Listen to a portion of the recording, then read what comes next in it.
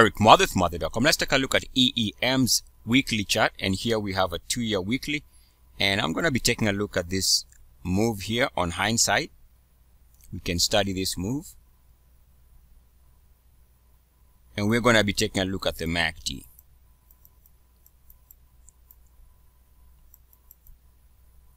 D. Alright, so this is going to be a short video. Of course, if you want more information, you can take a look at the following playlists,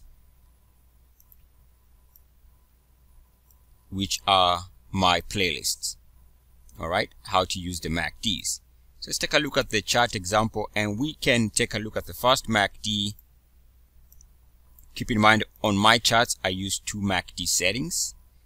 And here we can see a good example of why I say wait for the MACD to clear a recent high,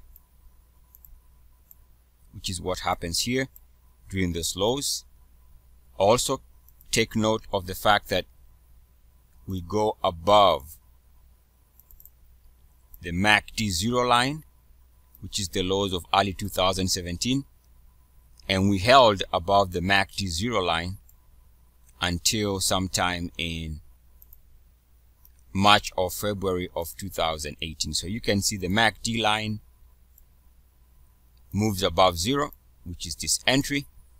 You can hold on until it moves back below zero, which is here, which would be this level. Right? Ultimately, you still have a huge gain.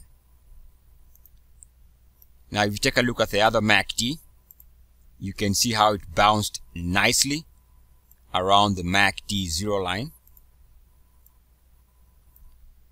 and that corresponds with the lows there and of course after that bounce the MACD was suggesting that it was refusing to drop below the zero line of the MACD corresponding with this recovery and of course we saw a big uptick in prices over about a period of one year alright that's a summary a quick look at how to use the MACD. For more information, take a look at the playlist, which I mentioned previously, that are part of my playlist and educational videos.